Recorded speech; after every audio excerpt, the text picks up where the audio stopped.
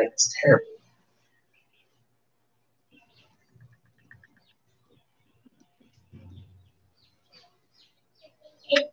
You get it? No, I hit my elbow.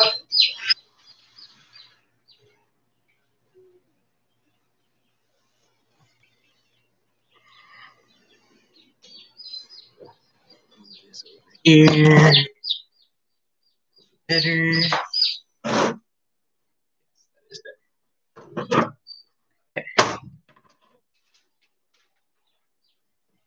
This is showing these because show these.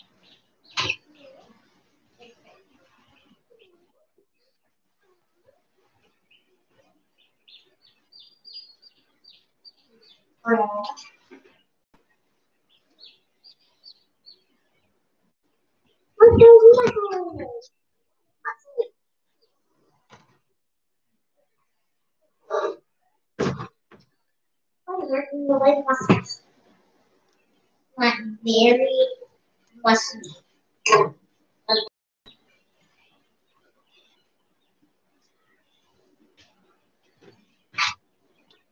All right, so this is first live. I'm just going to go ahead and do this, and we'll do some other video work and stuff, and have a little video coming out with this too.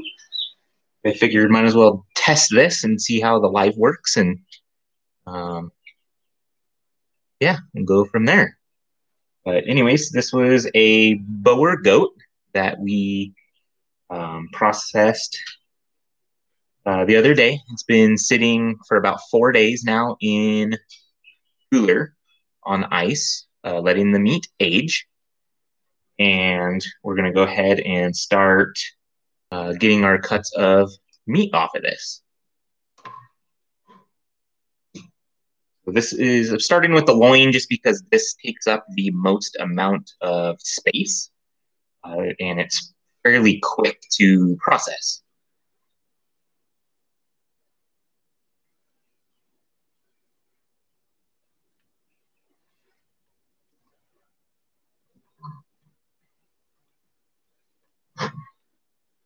First thing I'm going to do is going to be to trim off some of the fat.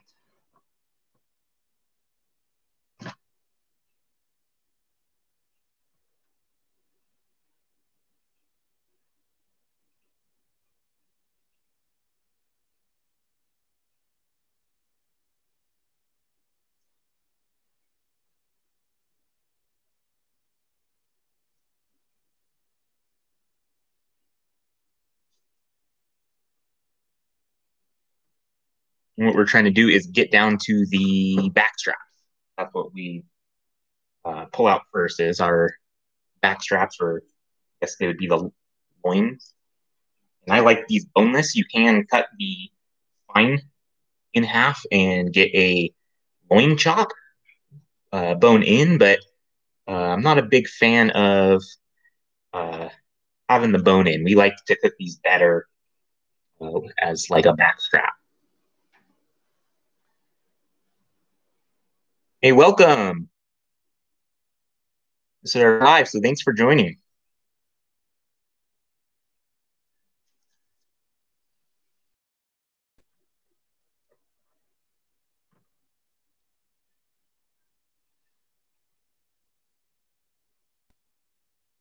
Pull the uh, back straps out here.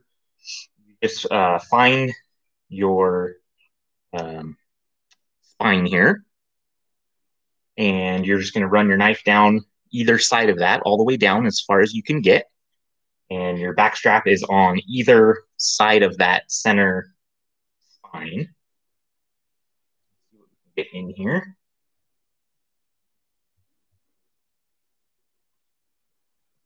Okay so i make my first cut in and i go i can tell i'm just on the right side of the backbone. And so i'm just going to follow that backbone all the way down to the bottom here and keeping a little bit of pressure against the uh, backbone.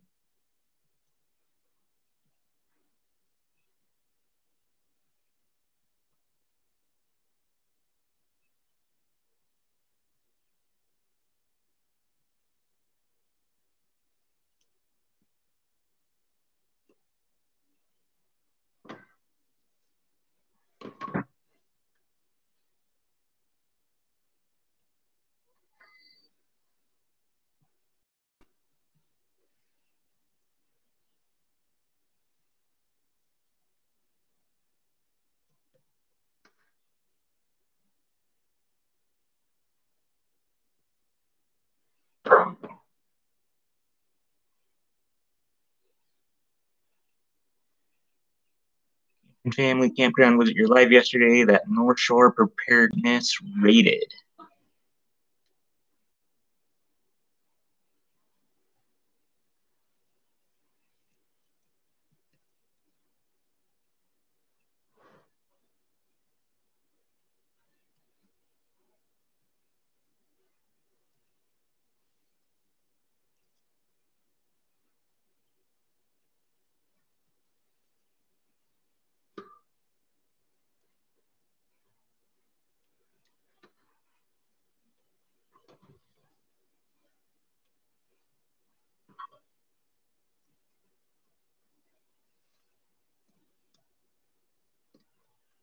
Once you get down each side of that spine, then you can start working your way out and working your fillets off of that backbone.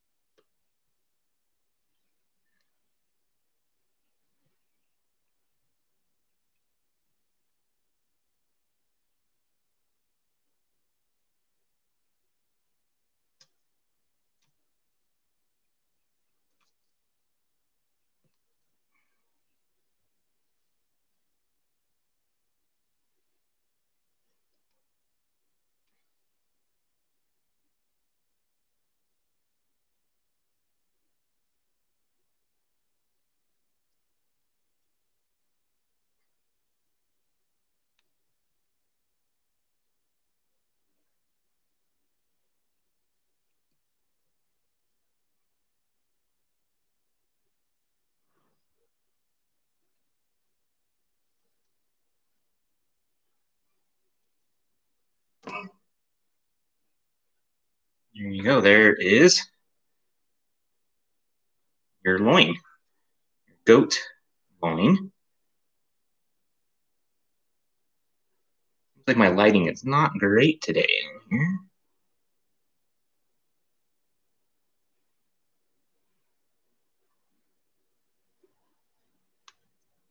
Uh, Pandera, is that a thigh of a cow or deer? This is a Boer goat. So this is our these are our, uh, pandemic goats. Um, we have never had goat before, and it was really hard to find it in the local butcher shops. There was a butcher shop that was supposed to get some goat, and they ended up going out of business before they got the goat in. We did find some. Um, it was like seventeen dollars a pound. Um, and so we were waiting to see if we got deer tags this year. Um, none of us got deer tags, and so we knew that we needed some meat for the freezer. And so we found two uh, younger Boer goats and we pick them up to grow out to try it for ourselves. Since we could not find it in a butcher shop, we decided to grow our own up and uh, butcher them ourselves. That's what we're doing.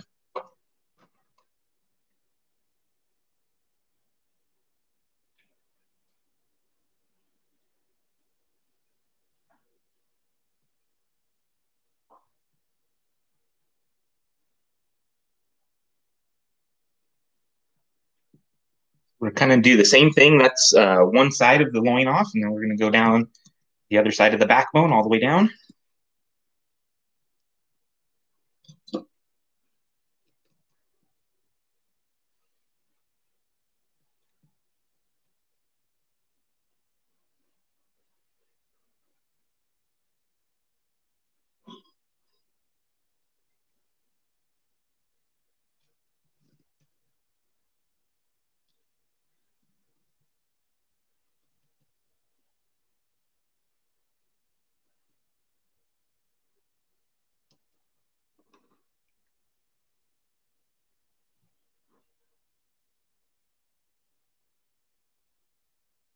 Yes, that too. Um, we have friends that we bought lamb from at the beginning of the year.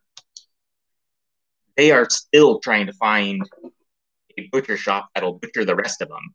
Um, we have some friends that do dog training, um, and they use lambs for training their dogs for herding. They do uh, sheep herding, and um, they had like 20 or 30 lambs in the spring and they use them for sheep herding. And towards the end of the season, they just sell them to friends and family. And we got, they were started trying to get rid of them. I want to say in about June is when we got ours from them. And uh, we brought it and we, we processed it ourselves and butchered it. Um, they still have all of them. They're trying to get them processed for the rest of their friends and family and they can't find anybody that is has an opening to process their lambs for them. Um, I think they have about eight or ten left. They're trying to get me to do it. I just don't have the time or the space to hang meat to let it age. Um, I would need a walk-in cooler or something like that um, in order to. I like to let all my aged meat or let my meat age um, usually about three days minimum, usually five to seven days or so. Um,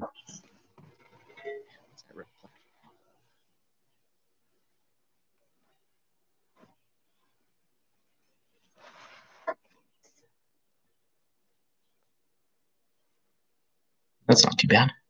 Okay. Um, yeah, they were trying to see if they could pay me to butcher all the the lamb for them. And I told them I just I don't have the space or the time really to uh, process another ten to twelve lamb for them.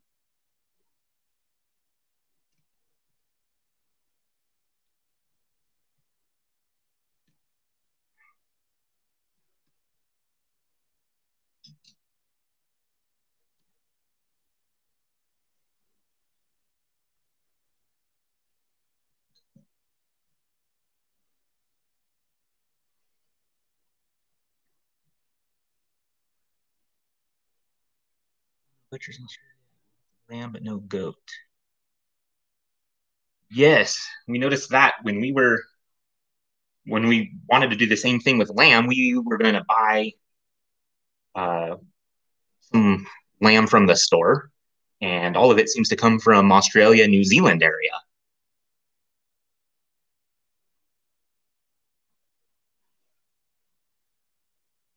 Uh, what age is ideal to butcher goats?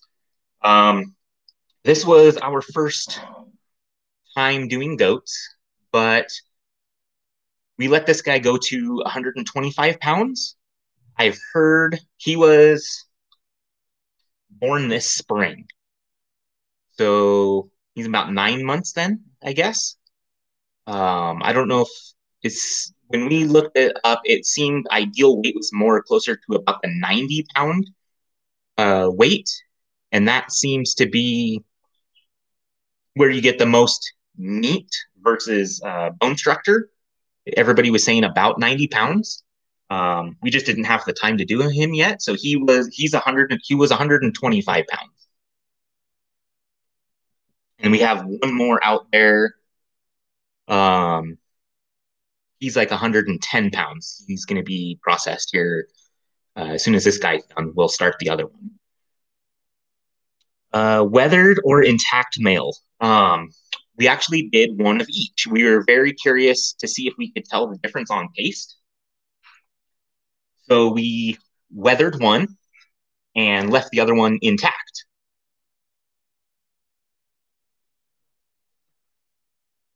So knew with our uh, with our venison with the deer that they're all intact and they're not gamey or you know have an off flavor. That's what we've heard that you can kind of get with uh, intact males.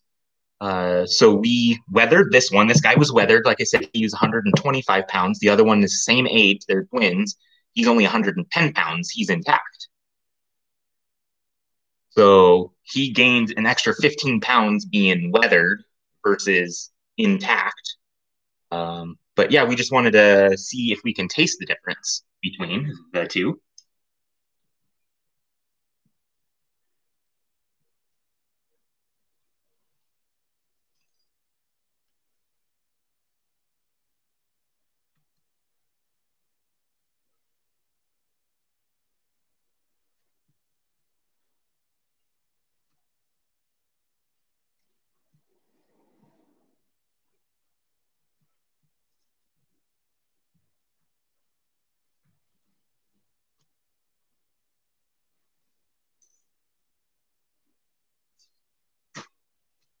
Okay, there is your other boneless strap or tenderloin.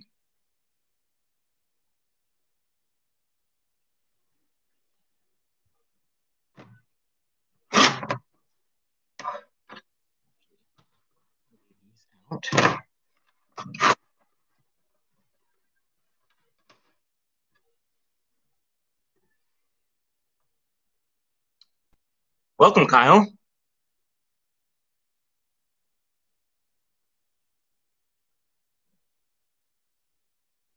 Yeah, we will do, like I said, that's the reason why we did uh, one of each is to be able to do a taste test to see if we can taste a different between um, intact or wethered. So yeah, we'll definitely do a taste test. Hi, Urban Grandpa Pepper, Prepper. Sorry about that.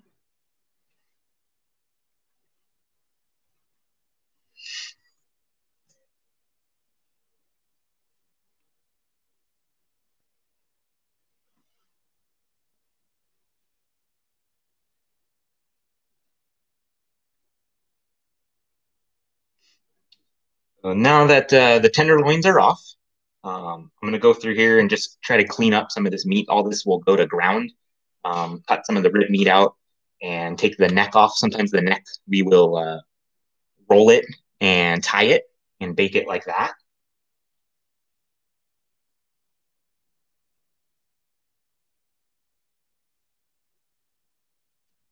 Usually the neck is a slow cooker uh, meat because it has um, just a little bit uh, tougher of a meat.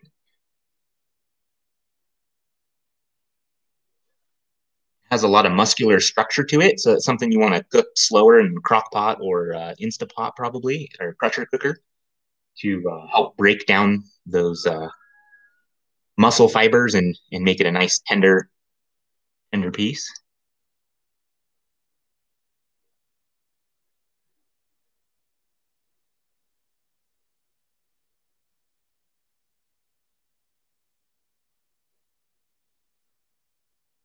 Hi, in the kitchen with Karen.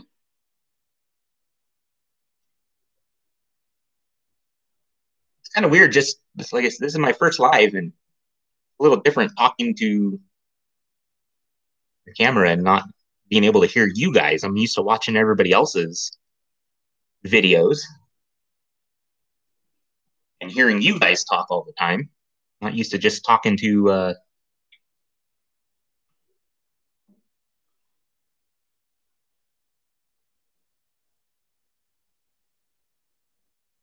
Oh, it's good to know. Uh, built on the Rock Homestead.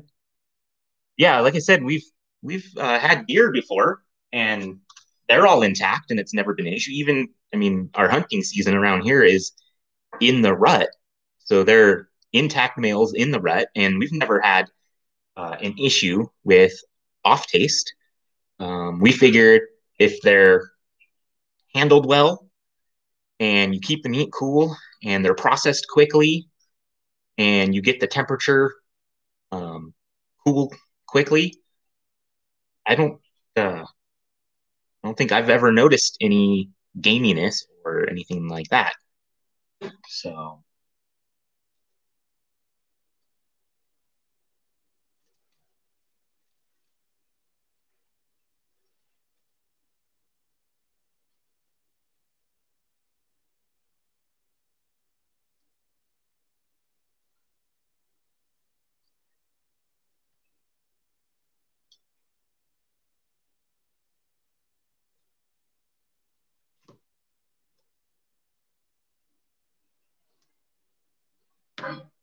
still needs to be um, trimmed up a little bit. There's a lot of fat on there, but this is one that, like I said, we will um, kind of roll it, a, a, neck fillet, roll it up and and tie it, and do a, a longer cook on that pressure cooker or crock pot to tenderize it up a little bit.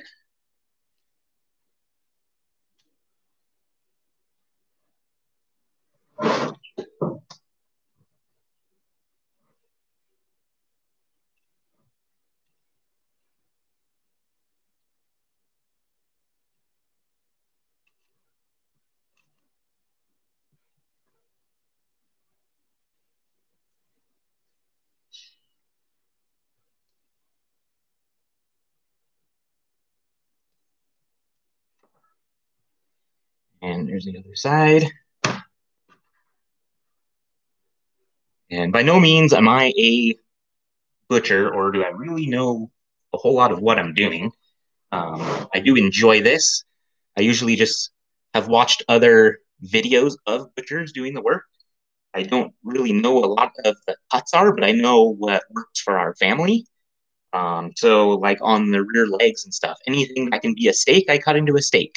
If it's too small for a steak, I cut it into uh, stew meat. If it's too small for stew meat, it goes into ground. Um, it's kind of how how we do it.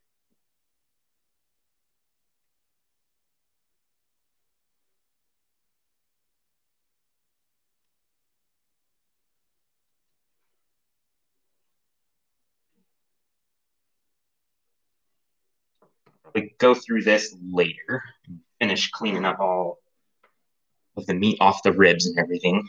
That, let's go grab rear legs and start getting those cut apart.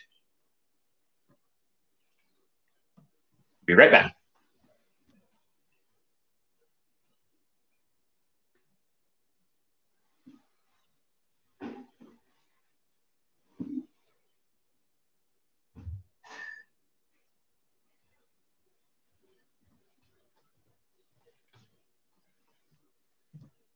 Okay, rear leg section.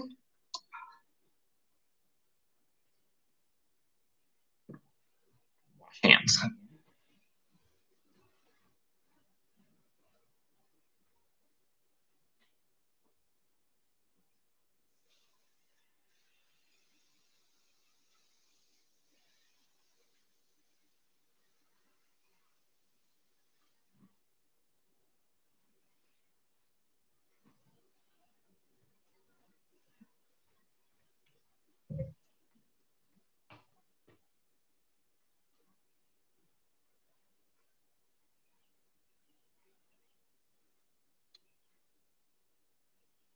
a little distracting.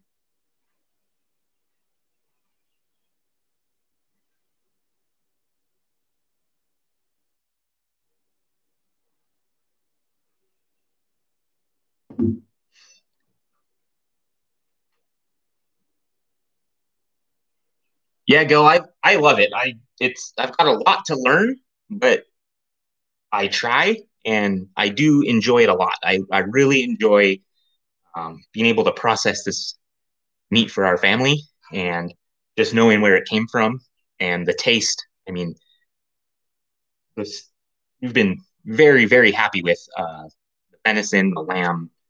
Um, like I said, this is our first time tying the goat, uh, so we will hopefully uh, enjoy this too because we have one more and we've kind of got into breeding Boer goats for meat production. So um, got three does that we're breeding right now. So we'll have Boer goat kids here in the spring that we're going to probably keep a couple of. And um, if you like the Boer meat, goat meat, uh, then we will continue doing this. So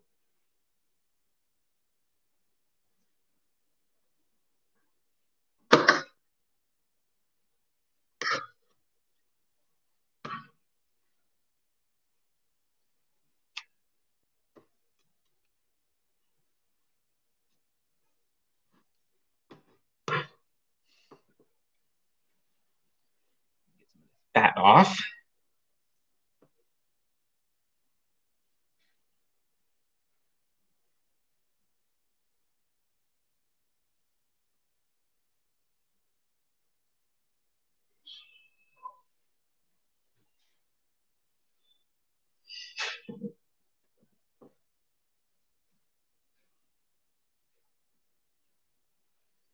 There are lines in between all the muscles and they're pretty pronounced.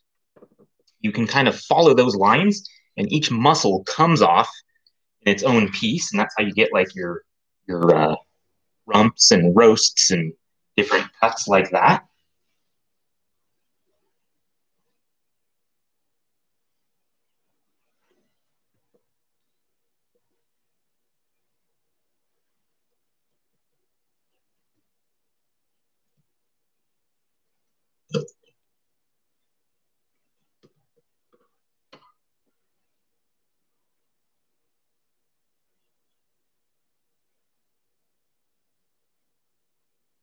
Apparently, having a dairy nanny with a Boer buck makes great kids that grow quickly due to the extra milk from mom. Yes, and that is uh, one cross we're trying. Um, we have three really big Boer does, and we're going to breed those uh, two big ones with our um, Boer buck. Um, and then we have one Boer doe that's on the smaller side. I, we think she's got some probably dairy mixed in with her already because she's um, not really the right uh, conformation, is what I guess it's called conformation shape and size for a Boer. So we are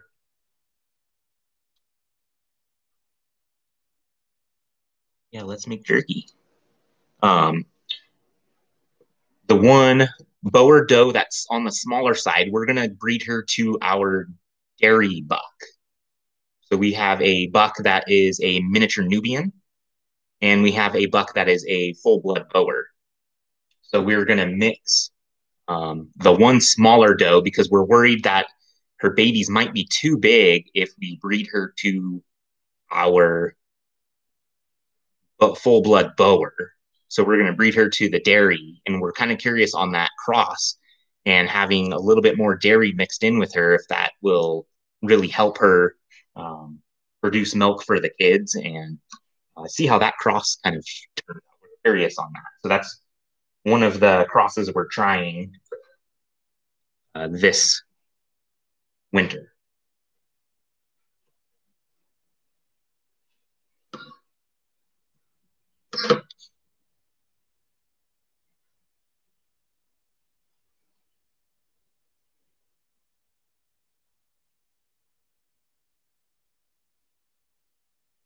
Yeah, we looked for Kikos. I really wanted to cross.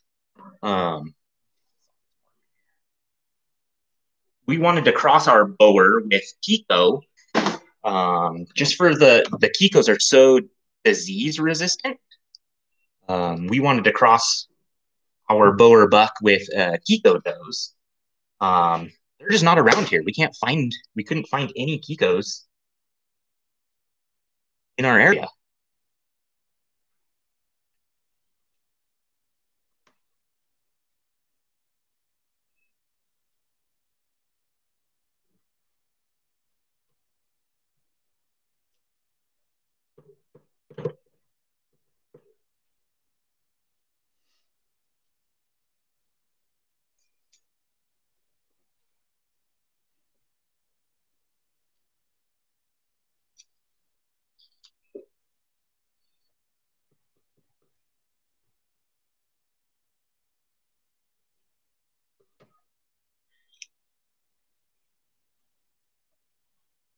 Kind of bone this whole leg out here real quick.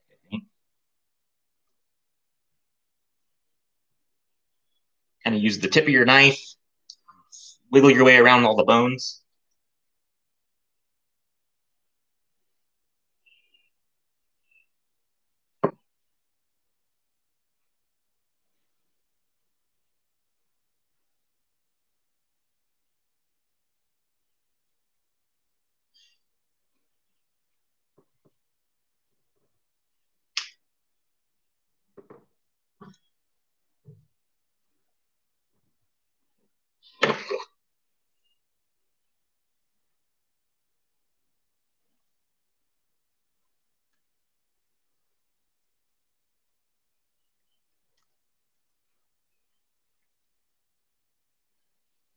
the hip joint.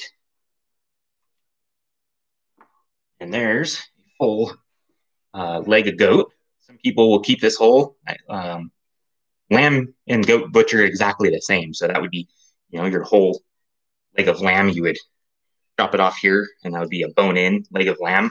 I'm going to go ahead and uh, debone this and break apart the roasts and cut into steaks. Here.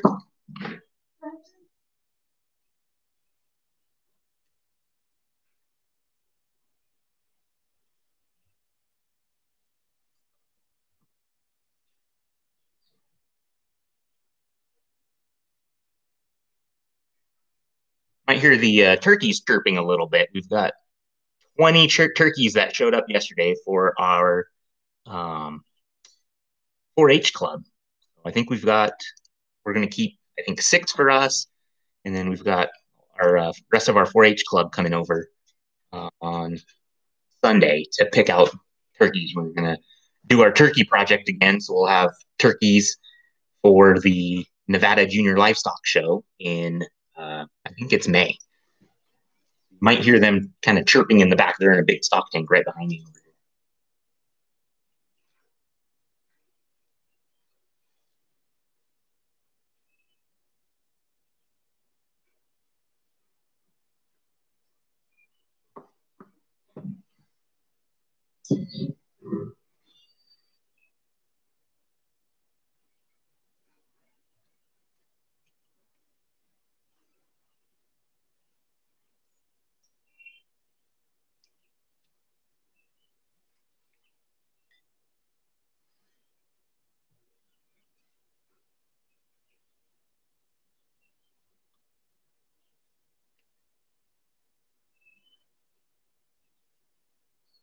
There's just a big hip bone in here. I'm going to get past all that.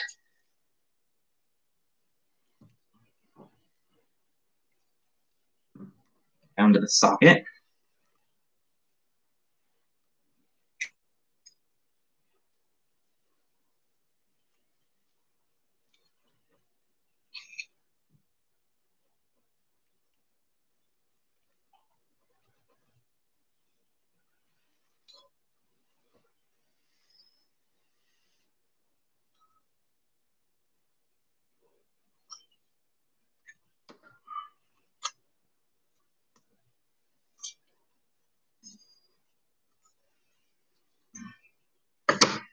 There's the entire hip out.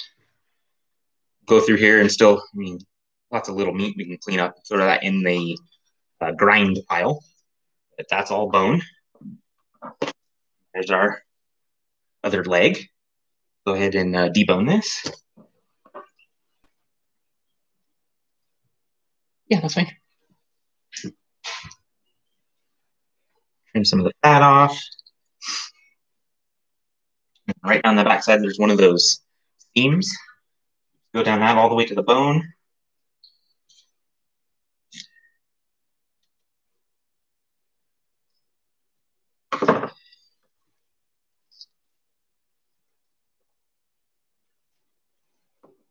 There's a gland in here that you don't want to get into.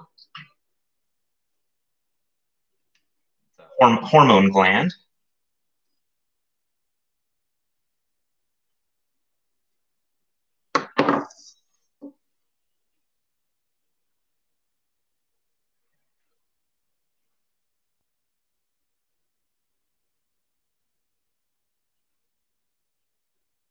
Fauna crossing with Australian bush mini crossbower. Oh, cool.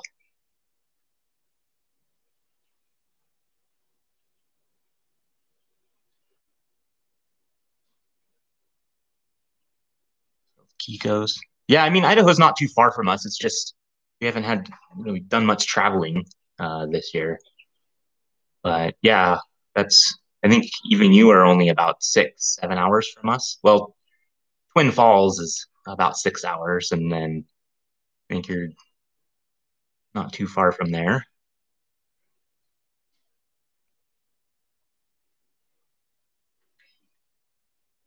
Bow or go with Nubian buck.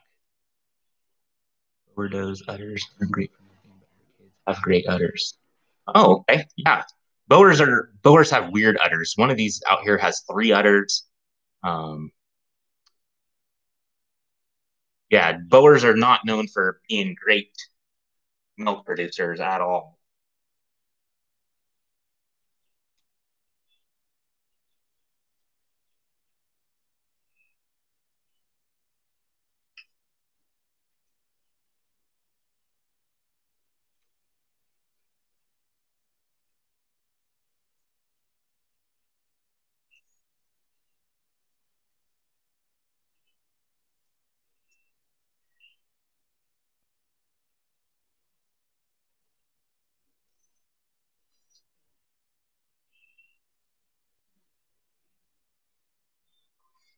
That's that weird gland. some sort of a scent gland or some sort of hormonal gland that's in their leg there. And that's something you don't want to um, get into. I'm actually going to go wash my, throw that in the trash and wash my hands. I'll be right back.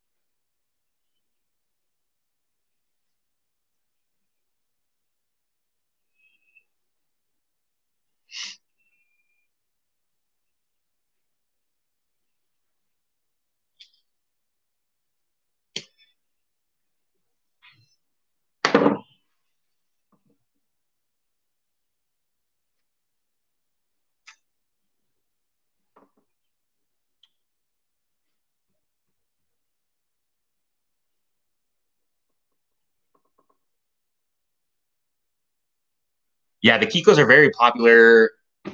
Um, Oklahoma, Texas. Um, I want to say it's the Boer Kiko cross. I think it's a Boer Kiko cross. is called a TexMaster meat goat. Either a Boer Kiko cross or a Savannah Boer cross. Hmm, I'm not sure on that one. I would have to look that up again.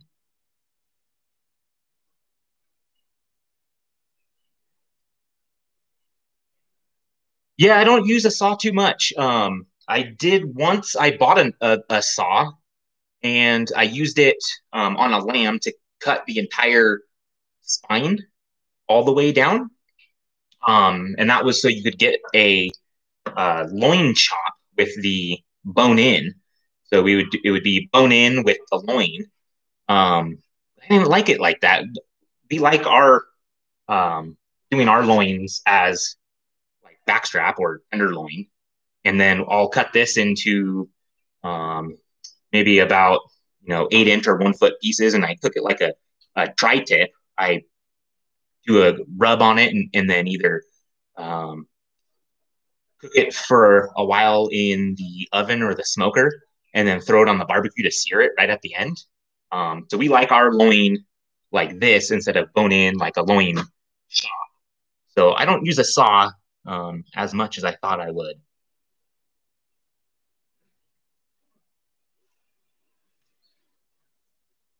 Here just comes right off. You follow those seams in the meat. Can just pull them apart.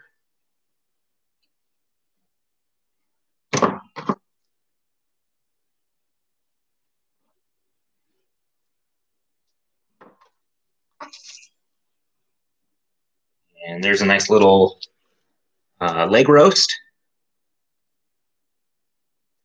I guess that could be, I don't know which part that is. I'm not, like I said, I'm not super familiar on the what they're actually called. Um, little leg roast there. And then out of this, probably get some small steaks. This will probably end up being stew. Probably do stew meat with the rest of this. Uh, it's getting down into the lower part of the leg, and that usually just has a lot of tendons and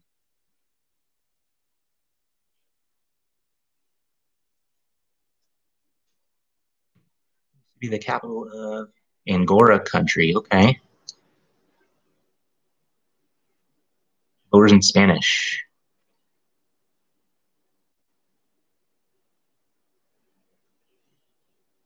More goats within 100 miles of me than people. That doesn't sound too bad, actually.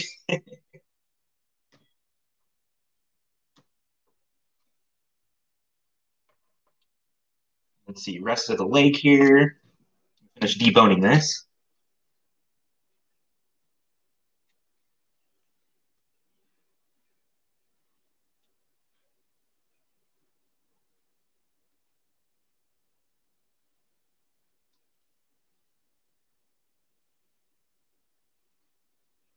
Just using the tip of your knife and you're just following that bone all the way around.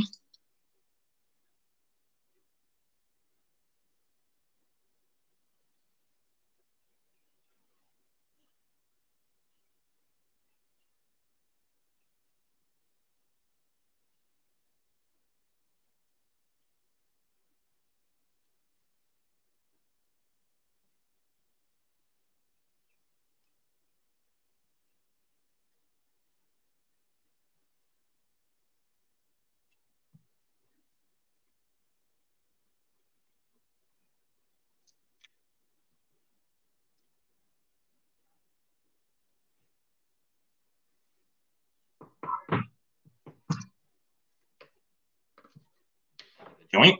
And there's the femur bone. Trim a little bit off of that. Ground. And two muscles here.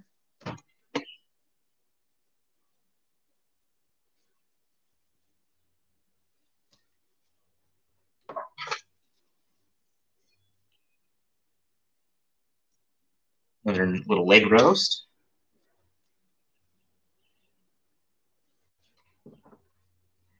That.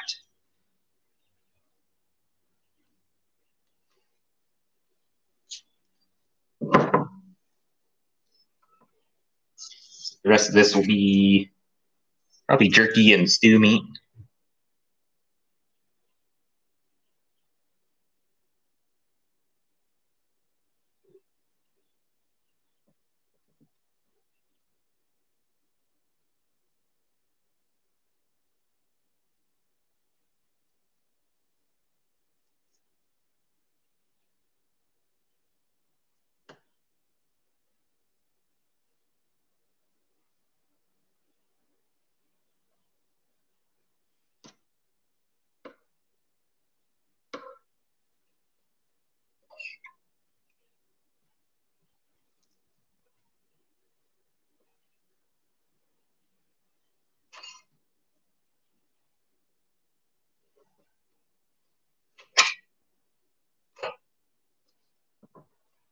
Meat, trim the fat.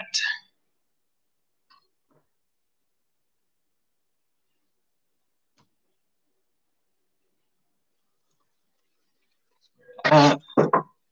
And there's another uh, boneless, uh, nice little leg roast. You could wrap that two strings and roast that, and that would be a nice little roast. And the rest of this goes to grind. All right, so we've got three roasts. Um, this one here might be big enough to do steaks with. Um, we could get maybe two, two or three steaks out of that. Little leg steaks might not be too bad to try.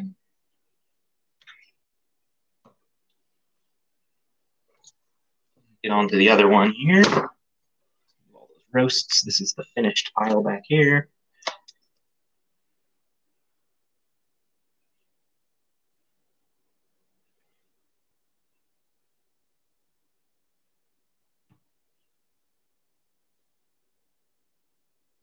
Yeah, I'm curious to see how much meat we actually get. So I kind of base everything off of the first lamb that I processed. Um, it was 110 pounds live we ended up with 52 pounds hanging weight. And I think we put 39 pounds in the freezer out of that. Um, when I looked up those percentages, everything uh, was pretty good on that compared to what other butchers get. Um, this guy was 125 pounds live, and I only got, I think he was 54 pounds hanging weight. Uh, so he was only, he was 15 more pounds heavier live, but only two pounds heavier hanging weight. So he had, he did have a lot of fat on him. Um, so we'll kind of see what we end up with. I'll weigh everything at the end and kind of get the percentages of live to hanging to in the freezer.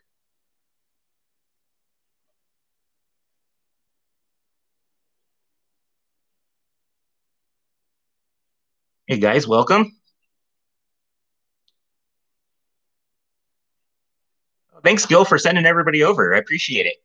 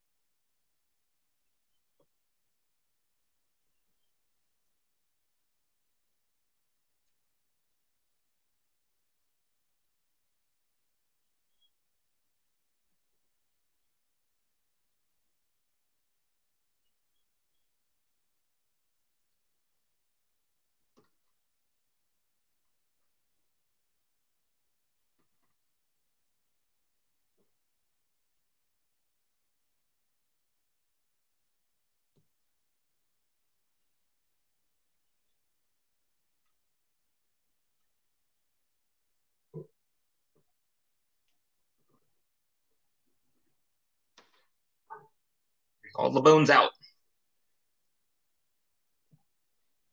All we are left with is all meat left. I'm just going to split these up like the others. Get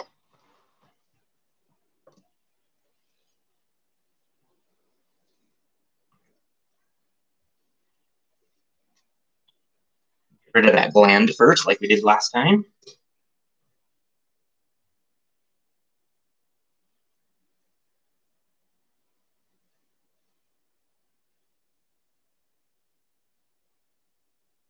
Gonna say this is called like a, a tarsal gland or something like that.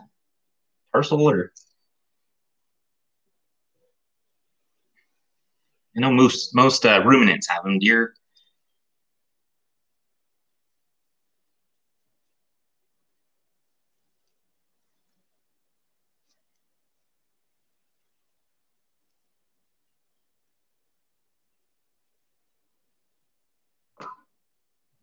To the trash again. Go wash hands.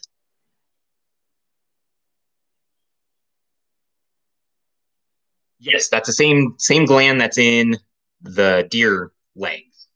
So I'm gonna go throw that away and wash hands because you don't want to get that into your meat.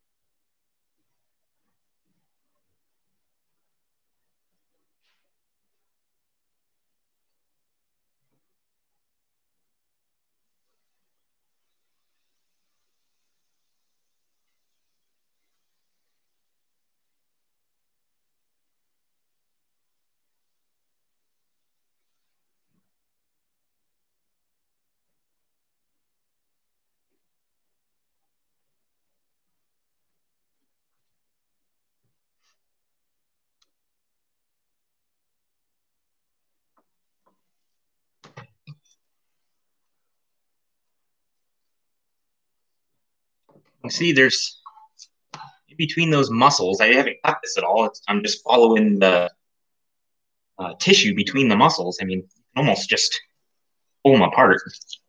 You just take your knife and just nice little cuts.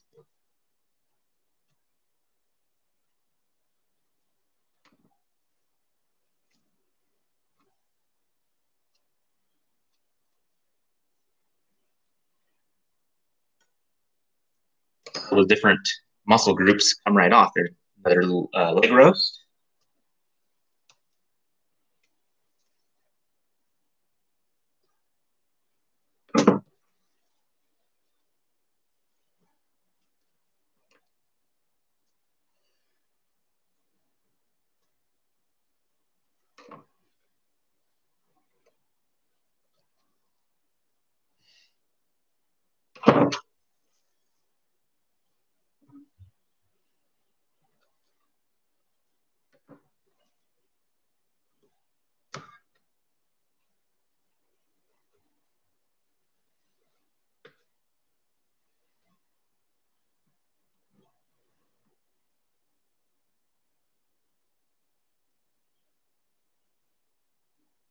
Yeah, I know it's some it's something to do with hormones or uh, scent. It's it's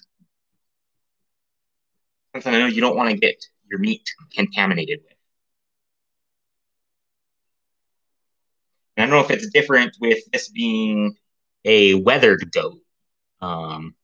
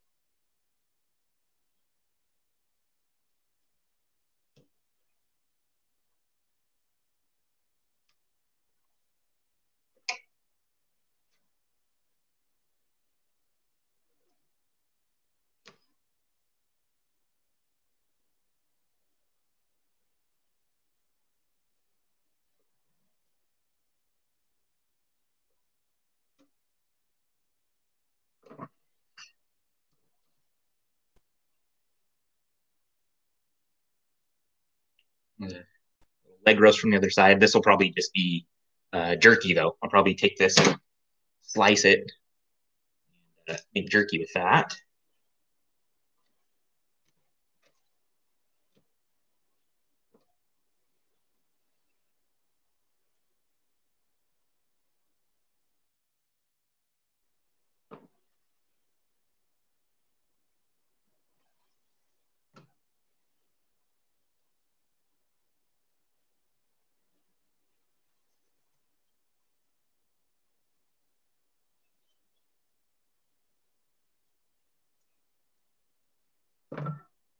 Some of the fat off.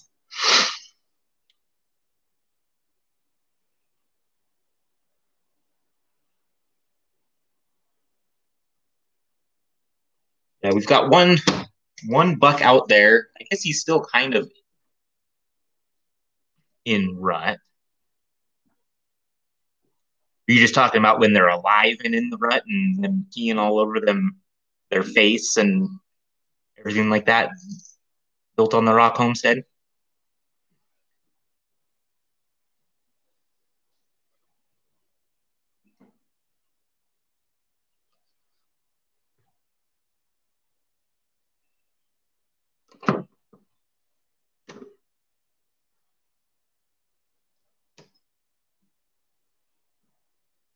We have three bucks out there that are all in rut at the same time. They're having fun peeing on each other and themselves and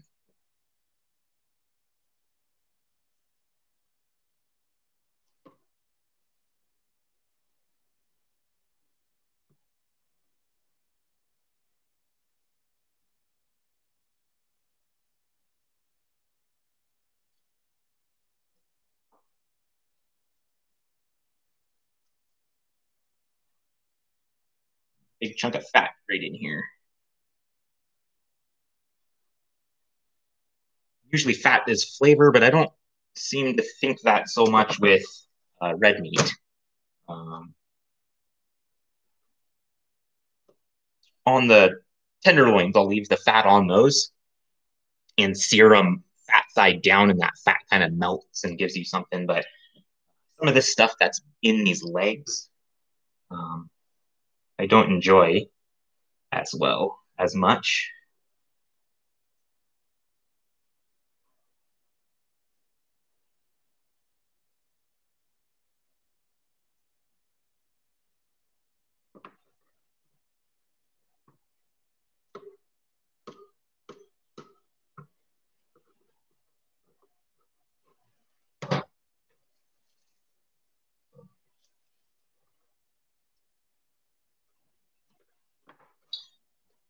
Another nice little leg roast.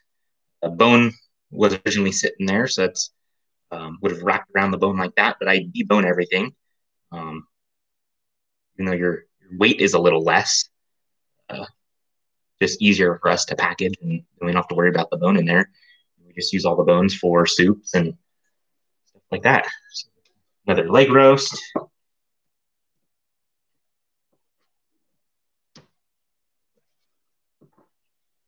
Possibly another one there, but probably trim all that up for uh, ground and stew.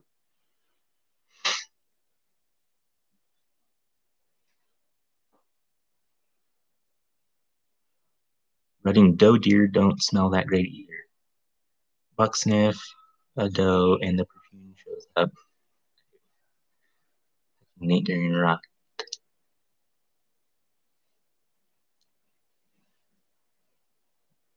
I hate touching a buck in the rut. Yeah, we had a little buckling, and uh, he's super friendly. He's like a puppy dog out there to us. Uh, he's a miniature Nubian, so he's a Nubian crossed with a Nigerian dwarf, and that creates a miniature Nubian. And he loves to play with you, but when he's got pee, when he's got pee all over his face and his beard and his front legs and then he's trying to jump up on you to play, uh, definitely during the rut, it is not fun to try to keep him off of you when you're bringing feed in and um, playing with him and stuff like that. He kind of figured out that, you know, do a lot of back scratching and rub him on his shoulders and stuff and just try to keep him down so he's not getting his pee all over you. Okay, so that's our whole loin and rear legs. Um, besides, there's some more meat to clean up on this. A lot of stuff we're going to pull off the ribs. We'll cut all the meat out of in between all the ribs. Um, but ah, all we have left is the front legs, and we'll be done. Be right back. Let me grab a front leg.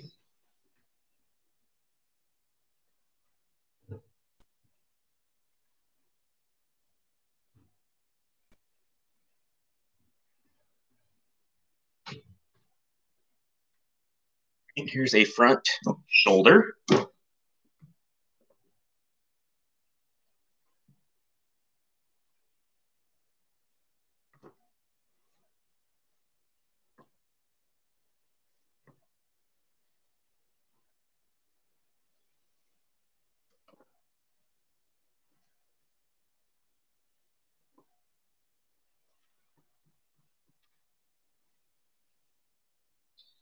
This is like getting up into neck beat. Uh, my work phone's going off. Let me wash my hands real quick so I can see what they want at work.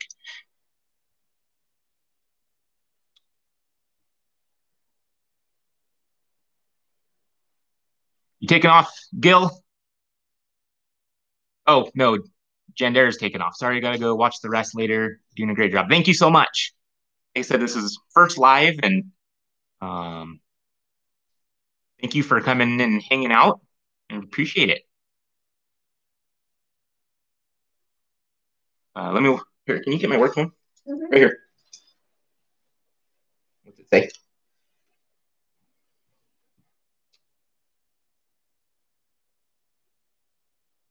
Andrew Energy will be here at 5. Who can come in?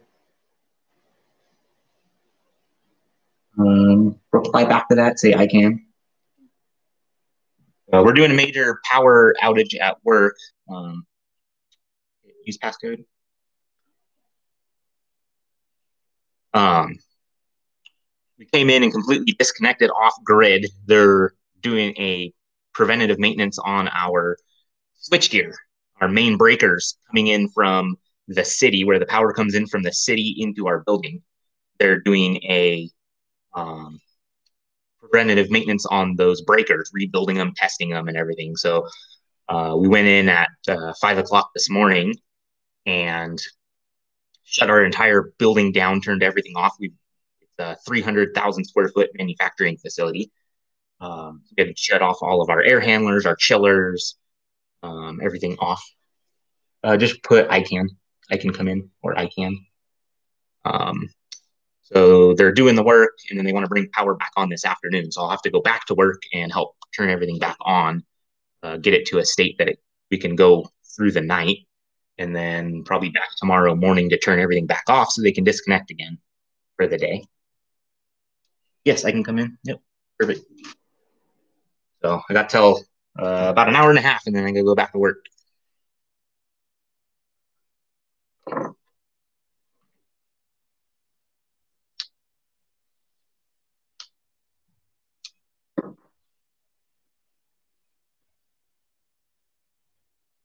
That is some of the neck meat that was still kind of attached to the front shoulder. It's gonna get trimmed up for ground. Okay, shoulder. There's a on the inside of the shoulder. It's kind of weird. Front shoulders don't have any sort of bone connection. There's no hip socket, uh, anything like that. They are completely connected from the um, main part of the body to the front shoulder with just muscle. So there is no connection of bone, really. It's just tendon and muscle. No socket there. Uh, right on the inside of the shoulder here, you have your shoulder steak cut right down this. There's a it's kind of a V V shape right here.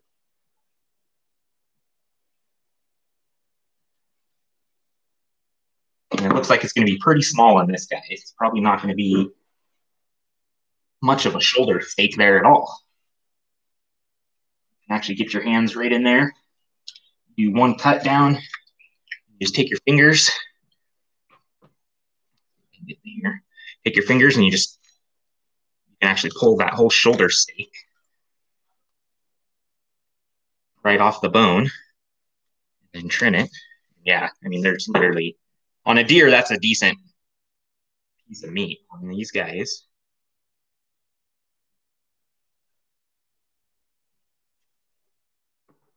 that's nothing. Probably just, ooh, I don't even know what to do with that. Not a whole lot for that shoulder steak. Figure it out later, though uh, maybe stew or kebabs, something like that. Thank you, Shaney. Shaney or Shaney? Uh, what uses do we have for the fat? I don't know. I would have to look that up. I don't know if you can render that like this. Um,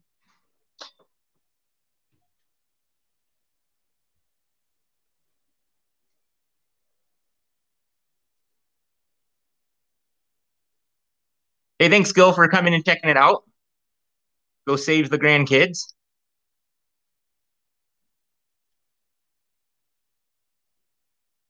Thank you, Built on the Rock Homestead. Thanks for coming and checking it out. We appreciate it. Yeah, I appreciate all you guys. Thank you for stopping by. Uh, this is not a Fiskars. This is a um, rugged, rugged edge. Lift up that sweatshirt. Yeah, you can pop it. Say? Outdoor Edge. It was Rugged Edge. Outdoor Edge. Um, it's kind of it's a whole kit. Uh, comes with a fillet knife, um, a skinning knife, a zipper knife, a caping knife for skinning. Uh, it actually comes with a pretty nice bone knife. It's just a single handle one though. A set of shears, um, it's kind of a game processing set. I'll I'll put a link down in the description after this. Um, throw my sweatshirt on the ground. Grab that whole kit. Comes with a nice little knife sharpener. Take it right here and open it up. Open it up. So it's a whole, it came in this set that my wife got me. Um, this is about the fourth or fifth time I've used it. I usually basically just use the fillet knife more than anything. Um, and I've got a link for a really great fillet knife. If anybody's interested, I'll throw that in the description too. You can buy just the fillet knife because I seem to use that more than anything. I do when I'm um, gutting and processing the animals. Uh, I will use the caper and the skinner out of this setup. Um, I did use the butcher knife. That's this really big one uh, right here. I have used that. It cuts through bone really nice. Uh, trying to cut through vertebrae and stuff, doing your your uh, loin chops, uh, lamb chops, stuff like that. It cuts through that backbone really well. Um, but I would say number one, I use the uh, fillet knife more than anything.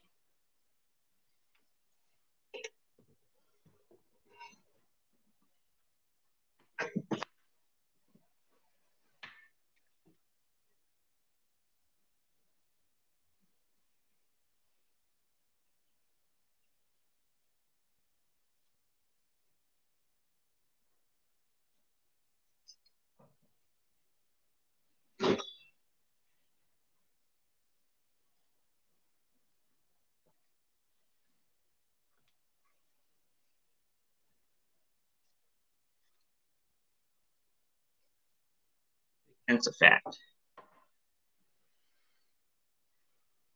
Uh, no, we do not sell our meat. Um, here in our state, you're supposed to be FDA certified if you want to resell your meat. Uh, we do this just for us. Um, like I, I, said earlier in the video, these were our um, on a blank quarantine goats. Uh, we did not get uh, deer tags this year, so we bought two goats to raise up to fill the freezer since we did not get deer tags. And we really wanted to try goat, and there was nobody around that had goat available.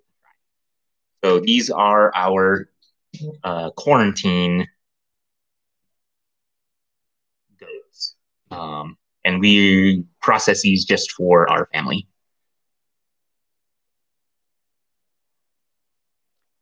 Crack and welcome.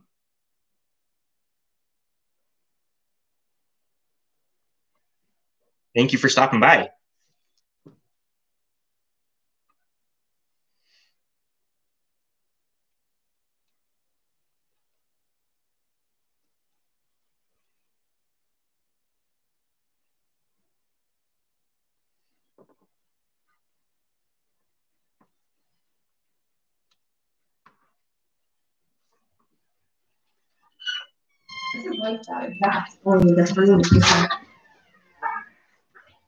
Hey guys. Hey, How's it going? Good. It smells like meat. Yeah. It smells like meat.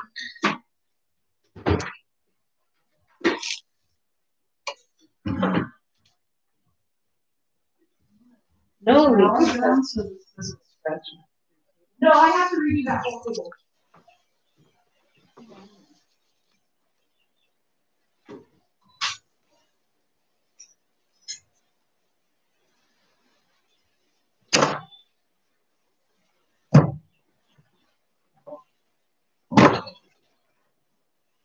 Uh, let's see. This might be a good stopping point. I'm gonna have to go back to work. you have to go back. Yeah, I gotta go back to work in just a little bit here.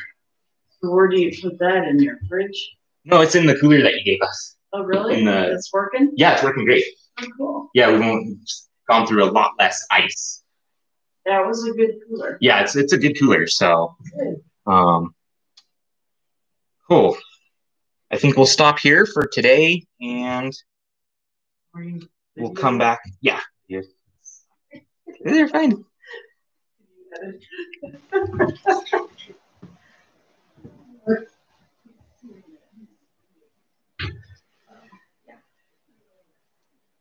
Oh, that's great.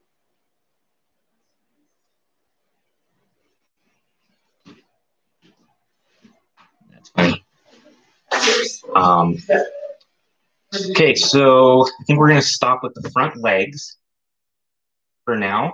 We'll trim this up, but we got both back legs done, all of our roasts, everything's boned out.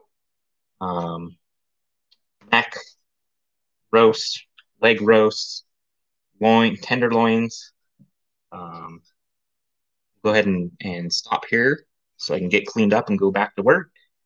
And we'll do the other front legs another time. Thank you guys all for coming in and checking us out.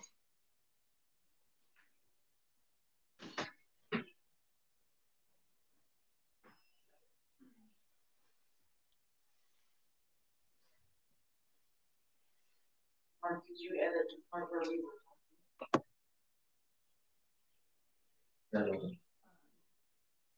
After you go through